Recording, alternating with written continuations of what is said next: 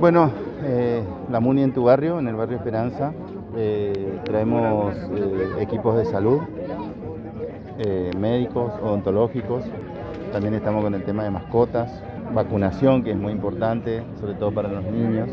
Recién hablaba con una vecina la importancia porque a veces no es fácil para una, una madre que tiene cuatro o cinco niños desplazarse hacia un lugar para cumplir con los servicios que acá se están dando. Entonces esto es muy importante. Nosotros vamos al lugar, como vamos a muchos barrios de la ciudad, nos acercamos a la gente y le brindamos todos estos servicios que son esenciales. Sobre todo, para mí lo más importante, la vacunación, control de niños sanos. También hay así eh, cosas más pintorescas como lo odontológico, donde se le enseña a los chicos la higiene, a, a lavar los dientes, la importancia, qué alimentos consumir o no.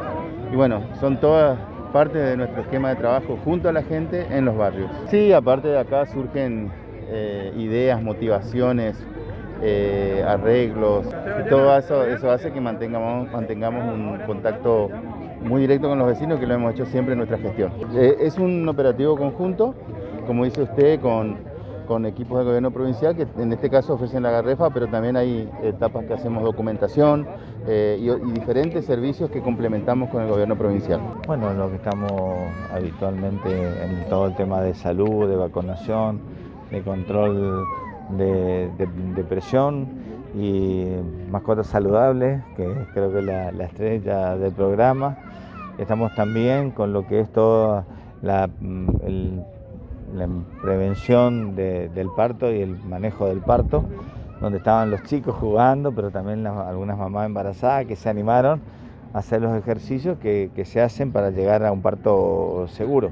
Estamos en todo, estamos brindando todos los aportes que puede acercar la municipalidad a cada uno de los barrios, hoy en el Esperanza, con un operativo que se repite dos veces por semana en distintos barrios de la ciudad y en esta barriada realmente muy populosa, donde hemos estado hace poquito también con, la apertura de calles y el arreglo, el arreglo de calles y centrado sobre todo en la creación de nuestro, de nuestro SAPS, que es un SAP con le hemos puesto mucha energía y que, bueno, trabajando en servicio a la comunidad. Ustedes saben que las mamás pueden y deben vacunarse eh, contra el COVID, la vacuna está disponible para mayores de 30 años ahora, así que solamente con anotarse ya, se puede ver.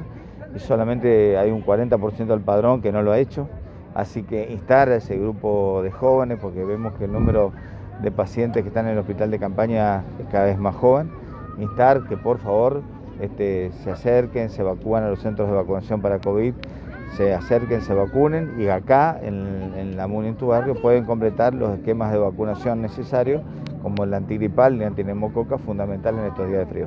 Bueno, lo vine a traer a mi perro para ponerle la antitetánica. Este, yo soy del barrio Quintana.